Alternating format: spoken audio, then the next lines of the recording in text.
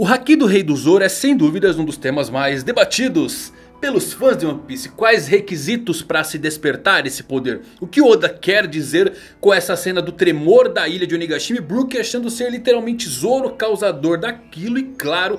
O quão insano é Kaido para ignorar qualquer força existente na Terra e provar por que é chamado de aquela coisa. Vocês queriam a criatura mais forte do mundo? Eis aqui o maior pico de força. Quer saber todos os segredos do Haki do Rei do Zoro e tudo por trás do movimento de Kaido? Então se liga que eu vou falar nisso agora.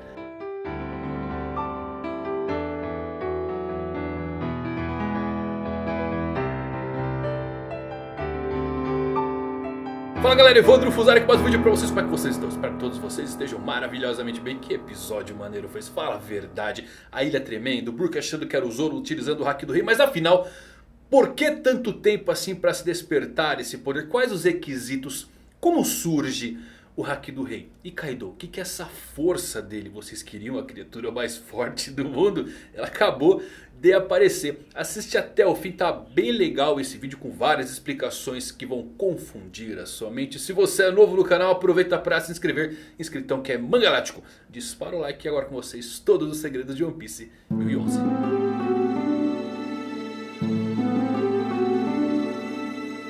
Nosso episódio abre com Sanji que persegue os gritos do que parece ser uma tentativa de assédio. E ele se depara com a silhueta de um homem realmente arrancando o kimono de uma mulher. E Sanji, nunca permitindo que uma dama passe por apuros, decide então ajudar. Porém, os sons que Sanji estava escutando foram dois subordinados de Black Maria tudo não passou de uma atuação para atrair Sanji para cair em uma armadilha. Sanji é pego em uma teia de aranha e ele está cercado por Black Maria e seus subordinados. Um deles é Sarahebi, a professora da capital das flores. Isso cai perfeitamente com o que eu disse no vídeo do episódio anterior de os gritos atraindo Sanji. Era na verdade uma frase utilizada no teatro e essa cena representava exatamente o que acabou acontecendo aqui. O homem tirando o kimono de alguém. Eu sei que muitos não gostam muito do Sanji sempre caindo nessas armadilhas, mas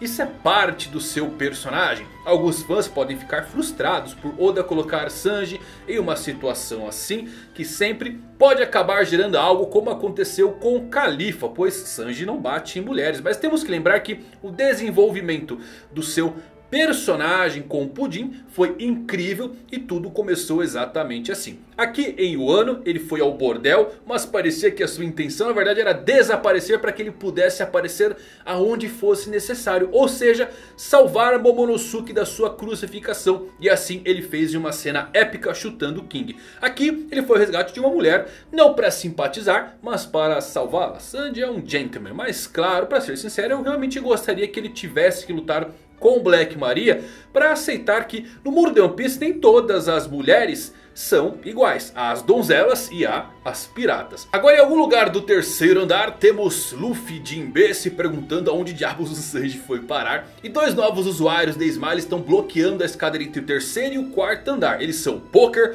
um Smile da Cascavel e Miserca, uma usuária da Smile do Gorila. Eu acho legal os dois aqui fazendo planos que se capturarem Luffy com toda aquela recompensa dele, eles vão acabar até virando os Tobiropo. Mas não é isso que ocorre, porque antes de chegar neles, Luffy aparece e encontra com os samurais da prisão de Eudon que fizeram um buraco entre os andares, uma escada para Luffy e Jinbe subirem diretamente para o quarto andar. Poker e Miserca são ignoradas. Mas o mais engraçado disso tudo é o Luffy utilizando escadas para subir em algum lugar. Mas no palco principal, Big Mom então voa em direção ao telhado através daquele buraco que o Kaido fez quando voou para cima de Onigashima.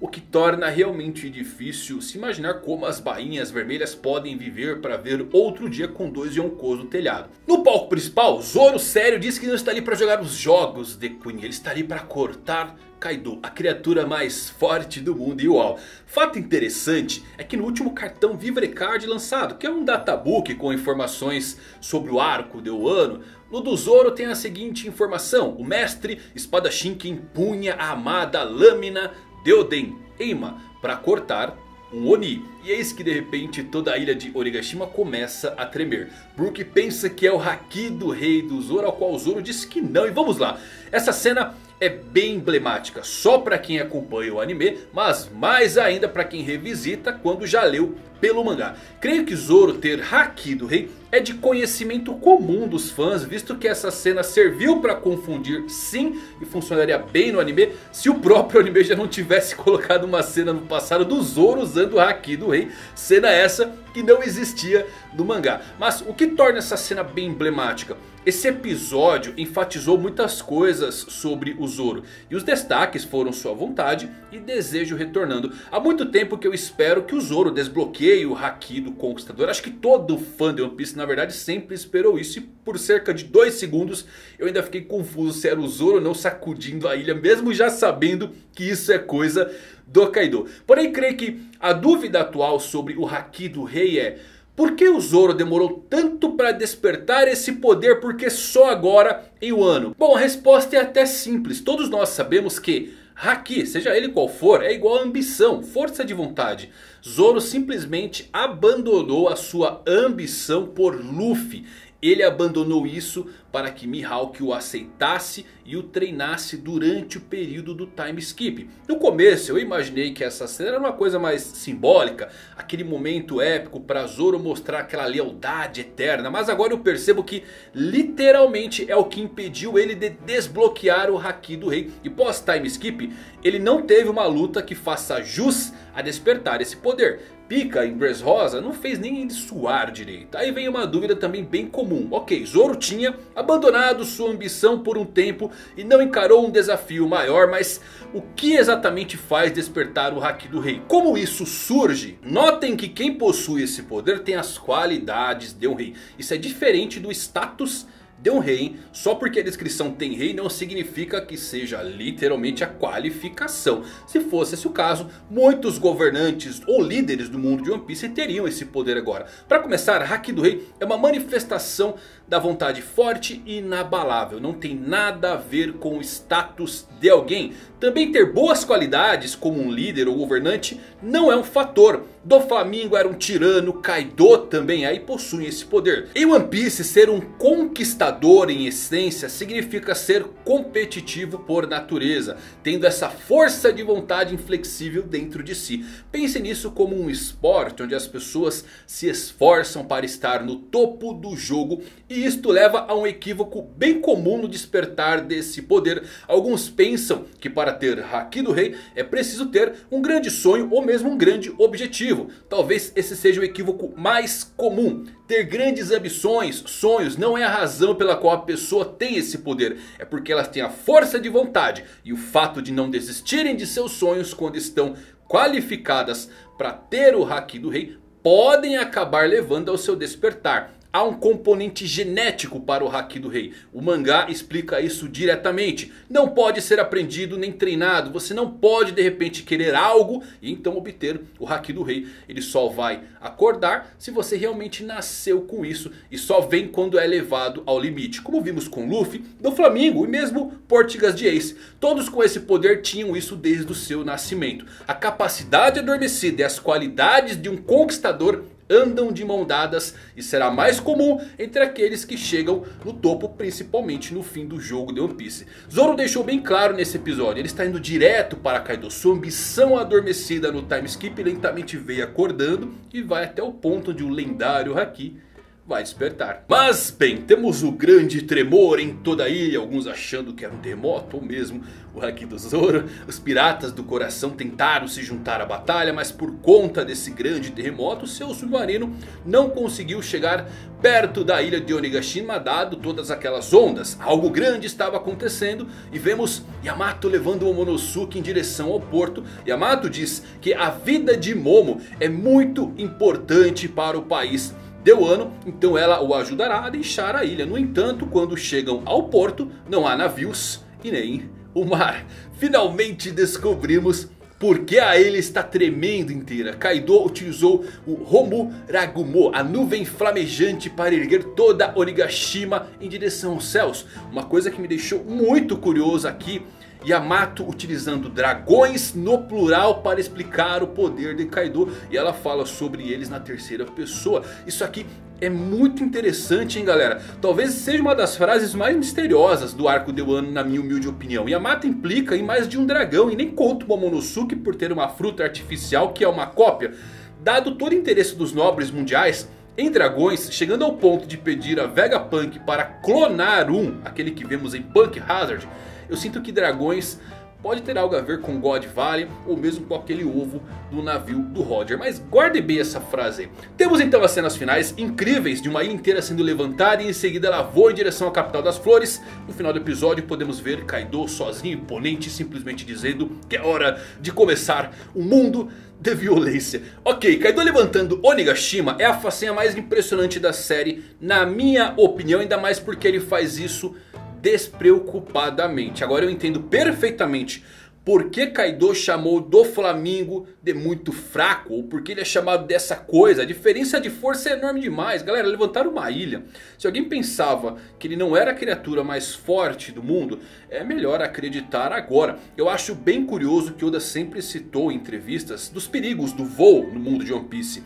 Esse é um dos motivos de Chico e Leão Dourado não dar as caras na série. Seus poderes eram perigosos para a trama. Kaido fazendo isso praticamente também elimina a volta do Leão Dourado aí pra série. Sobre o voo de Kaido e o que ele fez agora, foi confirmado em um SBS que os dragões não voam. Eles criam nuvens e caminham sobre elas, assim como a fruta de Momonosuke. E é exatamente o que o Kaido faz aqui com a sua ilha. Esta é de longe a mais emblemática e forte demonstração de poder que já vimos em todo One Piece. Algo no nível realmente de Akainu e Kizaru mudando permanentemente o clima de uma ilha inteira com as suas habilidades de lava e gelo. Ou a criação de tsunamis e terremotos por parte do Barba Branca. Como o Luffy vai vencer isso? Essa é a grande questão. Kaido simplesmente poderia mergulhar a ilha inteira para se livrar de todos como formigas. Agora uma sacada legal é se Kaido for derrotado quando Onigashima chegar à capital das flores. Podemos ter aquele momento bem épico, muito parecido com Shirahoshi acontecendo com Momonosuke. O jovem Kozuki um esforço para tentar dar o seu melhor para salvar o seu povo de uma ilha em queda mostrando-lhes a sua força de vontade e finalmente sendo ajudado por alguma força maior que possa controlar aquela ilha imensa. Então Kaido é derrotado, Onigashima está caído na capital das flores, Momonosuke tenta desesperadamente mantê-la à tona e ele está falhando quando por fim Zunisha chega para salvar o dia. Todos sabemos que o elefante Zunisha foi condenado a andar durante mil anos e podemos presumir que foi alguém do clã Kozuki que ordenou isso, dada a ligação dele com o Monosuke. Sabemos que os Minks estão ligados aos Kozuki. E quem sabe eles não foram incumbidos de viver em Zunisha para proteger o elefante até que ele volte para o ano e cumpra o seu dever. E depois vá descansar, tornando-se realmente uma ilha de verdade. Permitindo assim que os Minks morem em Wano. Uma outra coisa que eu queria deixar para vocês é... Poderia Onigashima ser a ilha perdida onde Rocks, Dizzyback e seus piratas lutaram contra Roger e Barba Branca? A ilha de God Valley? Seria essa a razão pela qual é conhecida como uma ilha que sumiu do mapa? Porque foi levada por Kaido para o ano e a Ilha dos Deuses foi rebatizada como a Ilha dos Onis, Onigashima. Curiosamente, quando Nekomamushi e Marco estavam chegando em Wano, Marco mencionou que Onigashima tinha um nome diferente no passado. Kaido sendo um aprendiz nos Piratas Rocks, talvez queria a ilha para ele porque sabia que Zebek mexia com tabus do mundo. Então ele foi o responsável por movê-la para o ano com seus poderes. Bom, é uma possibilidade, mas também tem que colocar aqui um contraponto. Foi Marco quem disse sobre a ilha mudar de nome. E ele já esteve em um ano no passado, uma vez claro. Então provavelmente ele pode ter visto essa ilha lá e pode indicar que ela já estava ali quando ele foi para o ano jovem com o Barba Branca. Dificilmente eu creio que ele saberia informações sobre God Valley. Quando o evento ocorreu ele era apenas uma criança, não estava na tripulação. Barba Branca nem mesmo lhe disse o nome da sua antiga tripulação. O Marco apenas menciona que Edward estava em um outro navio com Miss Bakin e não cita nada sobre o nome dos Rocks. Mas Eiichiro Oda pode contornar tudo isso no fim das contas. A reação Black Maria é muito interessante quando a ilha começa a levitar. Ela obviamente sabia o que estava acontecendo, então talvez ela já tenha testemunhado Kaido fazer isto antes. Se sim, muda as coisas de figura também porque Black Maria tem 29 anos e o tempo não bate com God Valley, a não ser que para ela ter testemunhado isso é porque Onigashima quem sabe seja o navio de Kaido. E foi assim que ele tentou chegar em Marineford. Imaginem que coisa louca. Não vimos o navio de Kaido ainda. Se for isso mesmo, vamos esquecer aqui o escalonamento de poder um pouco. E imaginar como alguém pode barganhar com uma fera como Kaido que quer morrer de forma épica e impedi-lo de ir para Marineford. Agora que tal habilidade quebrada foi revelada. Isto faz o meu cérebro realmente derreter tentando pensar em primeiro como diabos Shanks impediu Kaido sem uma luta. E segundo, se Kaido tentou ir com Onigashima flutuando para Marineford. Como é que o Ruivo conseguiu parar ele? Mas uma coisa é certa. Quando Kaido anunciou o novo projeto Onigashima, ele disse que mudaria a sua ilha para a capital das flores eu nunca imaginei que seria uma coisa mais literal. Mas na verdade a única razão do Oda fazer isso é porque ele nunca deixaria o Luffy vencer o Kaido a menos que pudessem ser testemunhados por todos de Wano. E claro, Zoro e Momonosuke também precisam. Quantas teorias nós levantamos de Zoro sendo reconhecido como o novo Ryuma, o deus da espada, ou quem sabe o demônio da espada. Para que Zoro tenha um reconhecimento à altura, as pessoas precisam testemunhar os seus feitos. Agora Oda está movendo a batalha em direção à capital das flores para que uma a ilha inteira possa testemunhar a derrota de Kaido. E é isso meus amigos, que episódio maneiro, dá pra fazer muita teoria né? Tem alguma? Poxa, me manda então, eu quero saber o que você pensa. Curtiu esse vídeo? Deixa um likezão, compartilha com seus amigos aí. Até a próxima, valeu por assistirem, fui.